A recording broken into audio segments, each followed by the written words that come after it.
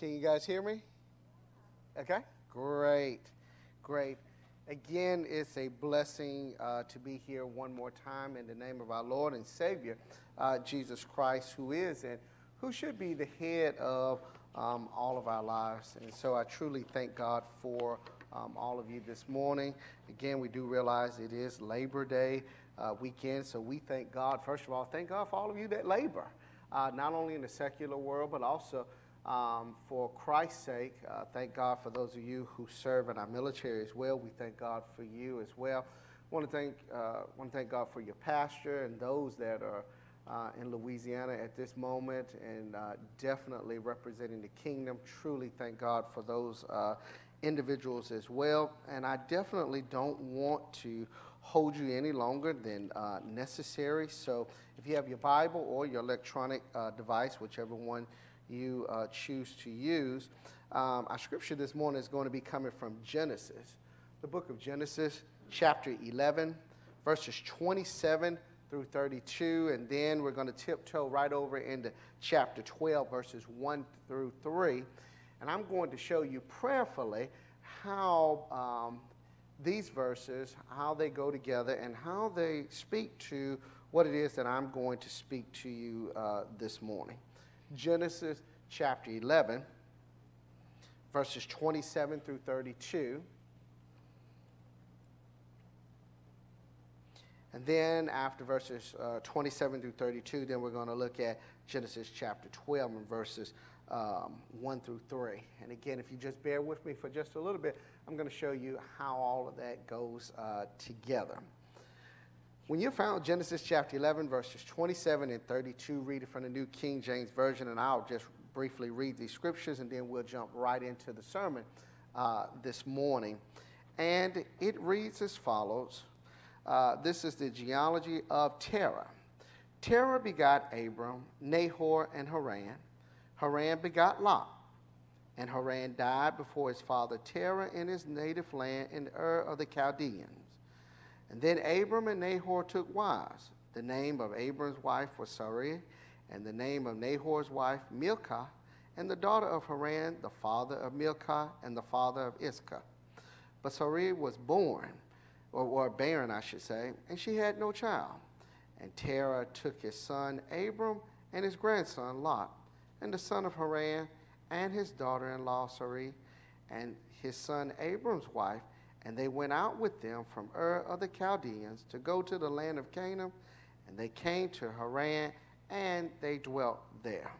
So the days of Terah were 205 years, and Terah died in Haran.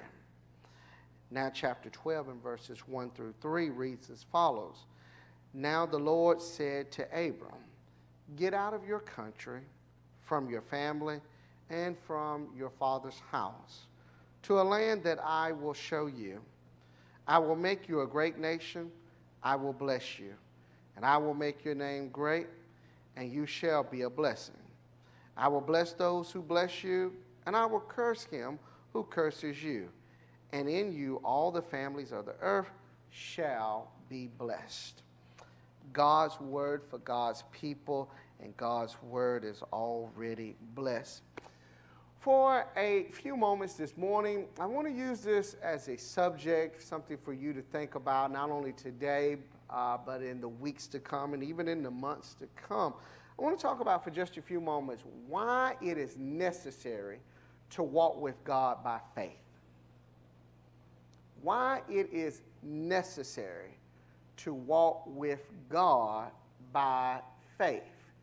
Now, typically, we get the last part of that statement right, and we hear that constantly walking with God by faith. But something that, if you're like myself, I tend to struggle with sometimes is why is it necessary? Why is it necessary to walk with God by faith? How come I just can't walk?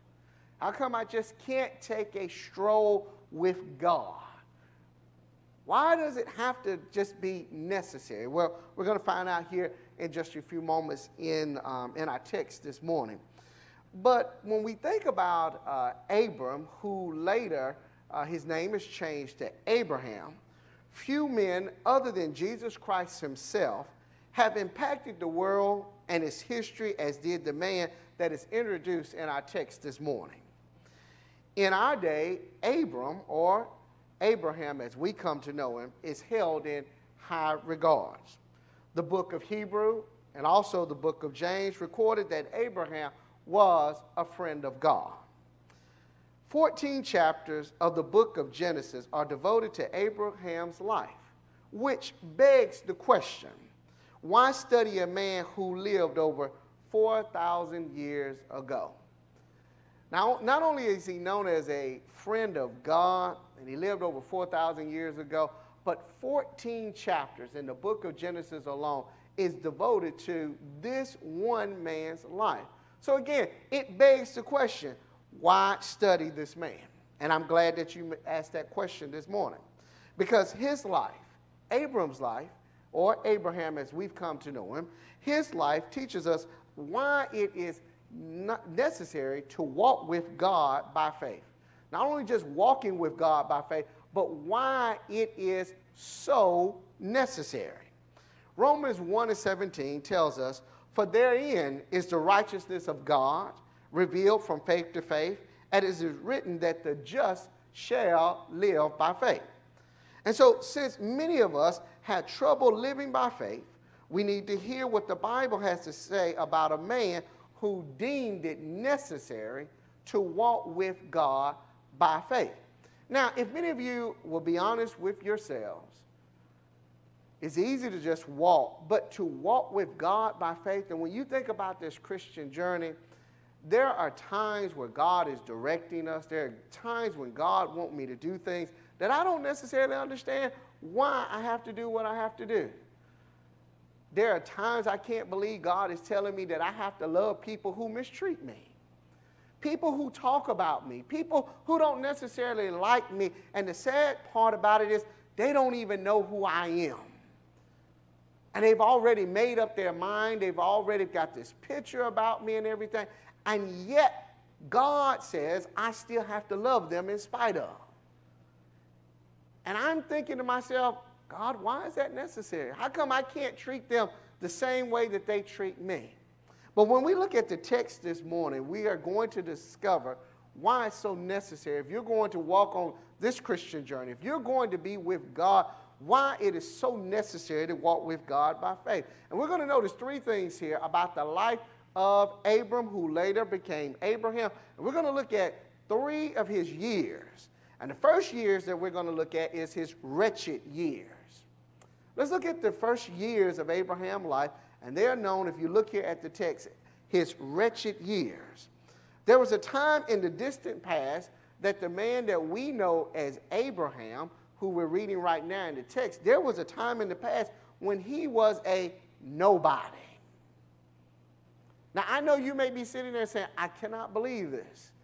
Abraham, who sacrificed his son, who went to the mountaintop, who left his home country, didn't know exactly where he was going, and you're telling me, Brother Hood, there was a time when he was known as a nobody? Yes, he was.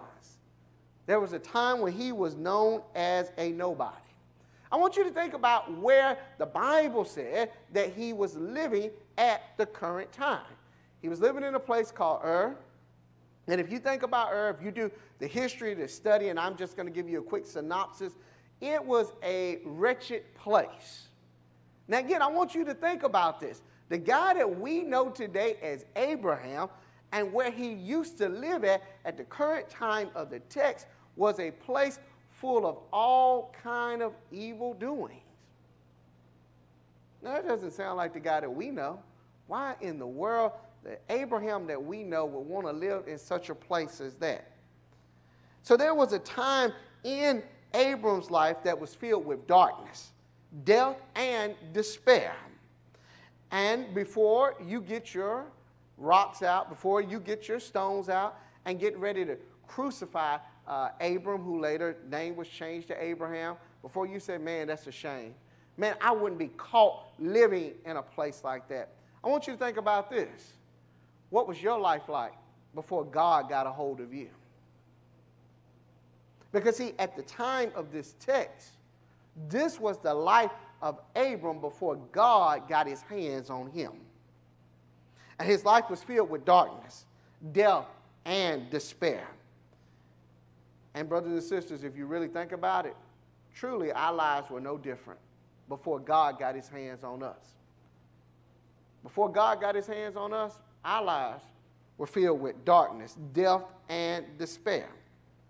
Before Christ, we must all admit that we were lost and on our way to hell. Before Christ, we were unredeemable. But thanks be to God through Jesus Christ, He brought us from darkness into His marvelous light. Do you not realize that you can be physically alive and yet spiritually dead? All of us are here in this room this morning, and we are here physically. But whether you realize it or not, there could be some of us here this morning while we're here physically, yet at the same time, we could be spiritually dead. You may say, Well, I still don't understand that, Brother Hood. Have you ever gone to work on Monday morning and you're there physically, but your mind is somewhere else? You're in the classroom and your body is there physically, but your mind is somewhere else. You're not focused on the task at hand because your mind is somewhere else. But physically, you're sitting in the classroom. Physically, you're there at your particular job. And it's no different. We could be here and be here physically, but spiritually, we could be dead. But thank God we are no longer children of wrath, but we are children of God. In Abram's life this morning, my brothers and sisters, Abram's life teaches us that before God got, to, got his hands on us, that we had a wretched life.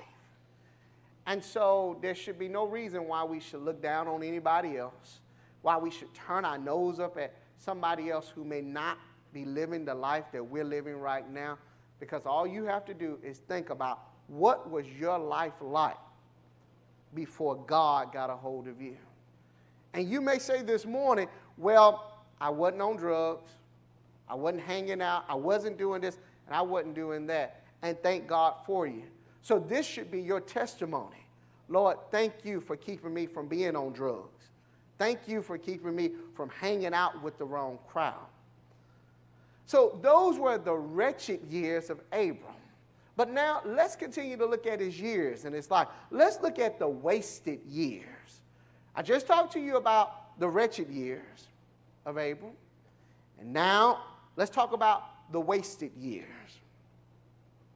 When we look here at our text this morning, when we think about the Bible, we discover that Abram stayed too long in Ur. He stayed too long with his own people.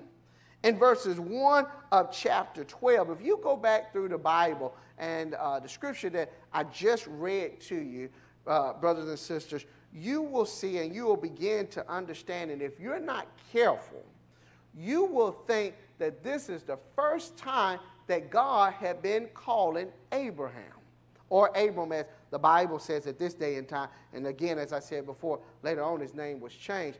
But if you're not careful, you would think that this is the first time that God was calling Abram in the ministry. But I challenge you to go back and reread the scripture. For the text said God had been calling. He had been calling Abram. But Abram stayed too long with his own people. And God had been calling him, but he wouldn't leave his family, nor would he leave his old ways. Don't that sound like some people that we know? God is calling them. God has called you and I once upon a time. And if we be honest with ourselves, before we ended up where we're at right now at this very moment, for a lot of us, it wasn't easy to leave our old ways. It wasn't easy to leave our families. So, again, I want to make sure don't be so critical of individuals who may not necessarily get this thing that we call Christianity from the first sermon that they hear or the first small group. Because I can tell you, it can be hard sometimes to leave your family. It can be hard to leave the old ways. And, brothers and sisters, I want to challenge you this morning. I want to remind you this morning that God has been calling you and I.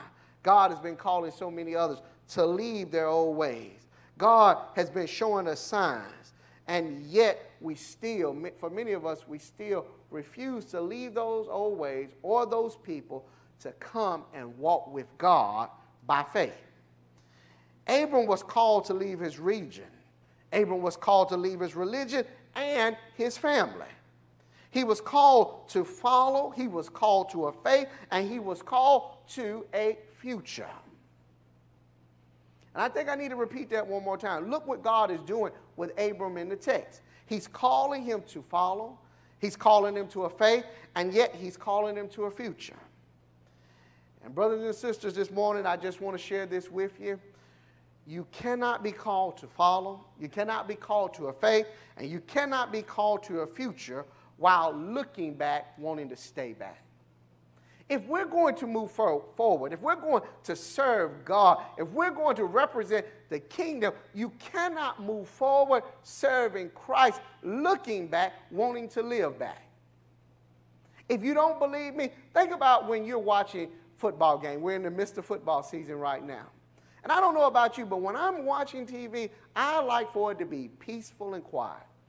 If you're going to talk to me, please talk to me during the commercials. But when the game is on, don't talk to me during the game. I want to hear what the referees have to say. I want to see the plays. And have you ever been watching a football game or a basketball game with somebody, or maybe even a baseball game or whatever your favorite sports may be, and the individual that you're watching the game with, every time somebody either scores a touchdown, hit a home run, they're racing, running track, or swimming, that individual that you're watching the game with, they're constantly telling you, I used to do that.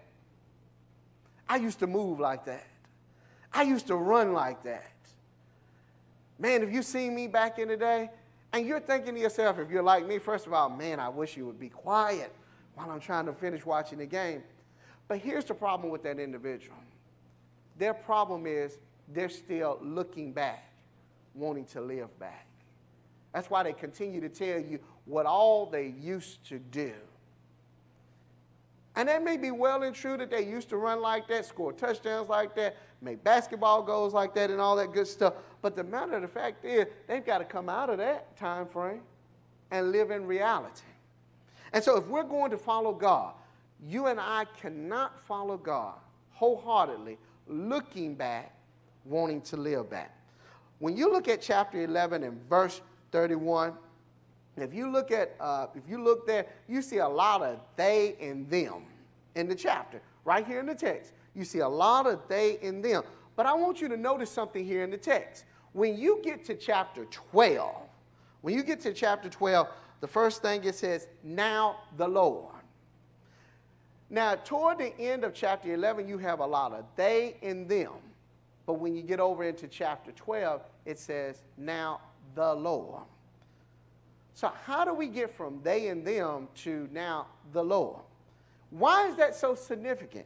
And here's the reason why it's so significant. If, it, if you and I are going to walk with God by faith, then we have to understand, brothers and sisters, that if we're going to be with God, you got to leave them alone. If you're going to get to thee, in chapter 12, you first of all got to leave them behind. And for so many of us, that's a hard thing to do, whether it be friends and even sometimes family. And I'm going to talk a little bit about family here in just a moment and show you how all that wraps together and why it's so necessary on this journey to walk with God by faith. But if we're going to be with thee, first of all, we've got to leave them if God is going to get glory out of your life, if God is going to get glory out of my life, first of all, we must come out from among them. The reason why many of us find it so hard to have joy in our lives, to have happiness in our lives, is because we still want to be around them. Have you ever had a good day and the, your day is just going so well, and then all of a sudden you meet up with somebody who has such a negative attitude? You ask them how they're doing, and by the time they get through telling you all about their problem and how negative they've been, you begin feeling bad yourself. There's some people, I have to be honest, I don't even like to ask them how they're doing because I'm afraid if I do, by the time they're so negative and they tell me, I feel just as bad as they do. And so when we look here at the text this morning, if you want to get to thee, you got to leave them. You got to leave them alone. You got to come out from among them. You cannot stay with them. I cannot stay with them. And so, as we continue to look at the wasted years, partial obedience is full disobedience. And until you have done all that God has said to do, brothers and sisters, we haven't done anything that God has said to do. And Abram didn't follow the Lord's command until the death of his father, Terah. I want you to think about this. God kept calling him. God repeatedly kept calling him. Because remember, Scripture said God had been calling him. But the Bible tells us, Scripture tells us, he did not follow God's command until the death of Terah. Now, when you look at the word Terah, the word Terah means delay. So here's my question to you. So, what or who is your terror this morning? Who's standing in your way of doing what it is that God has called you to do? And then you may be here this morning saying, Well, I'm not standing in anybody's way, Brother Hood. And I'm glad that you're not. So here's my other question. If nobody's standing in your way, whose way are you standing in? Are you preventing somebody from being at small groups? Are you preventing somebody from taking part in the worship service, praise team? I pray that you're not. But who's the terror in your life that's keeping you from following God and doing what it is that God has called you to do. And the sad fact of the matter is, brothers and sisters, there's some people in our lives before we can follow God. There are some people who have to be just like Terah, they have to die. There's some friends that will have to die, there's some family members that will have to die before you and I can do what it is that God has called us to do. The Bible tells us that if any man comes after me, he must first of all deny himself, take up his cross, and follow me. We can't follow God until we die to what we want and let God take control of our lives. When Terah died, that's when Abram finally moved forward. When you allow the terror to die in your life, that's when God will begin to move forward in your life. Is there a terror that's keeping you from coming to Bible class? Is there a terror that's keeping you from being a faithful tither this morning? Is there a Terah that's keeping you from Sunday school? I told you earlier that the name terror means delayed. Delayed also means stationary. And when you're stationary, you can never be missionary. Faith means to keep walking even when you don't have a map. Keep walking even when you don't know where you're going. Faith is not about getting what God wants you to have, but it's about accepting what God sends because God already lives in our tomorrow. Here's the last thing, and I'm going to wrap it up with you. We looked at the wretched years of Abram. We looked at the wasted years of Abram. Now I want you to look at the wonder years of Abram. When you think about the time of this text and when this text was written, Abraham at this time was 75 years of age, and God tells him that I'm going to make you a great nation. How is God going to take a man who is 75 years old? And when you think about 75 and not being disrespectful, but in our day and time, in our culture, when you think about 75, that's old. Retirement. You're going home to hang it up. And yet, God is telling this man, I am going to make you a great nation. He says, Your name will be great. God says, I'm going to bless your seed. Wait a minute, 75, and God is talking about blessing a seed. But here's the problem Abram can't have kids. Sarah can't have kids. She's 65 years old for those of you who have children right now, what would you think if God told you at the age of 65 he was going to bless you with a seed? And yet, at the time of the text, she's 65 and it seems medically impossible to have children at the age of 65. But I did read in Scripture where the Bible said, with God, all things are possible. So you may ask the question as I wrap this up what does that have to do with the wonder years? Brothers and sisters, in order for us to get where it is that God wants us to be, we have to leave our past. Sometimes we have to leave those who we love and cherish the most, especially if they're not going down the same path that we're going. We have to leave them, trust God, and follow God.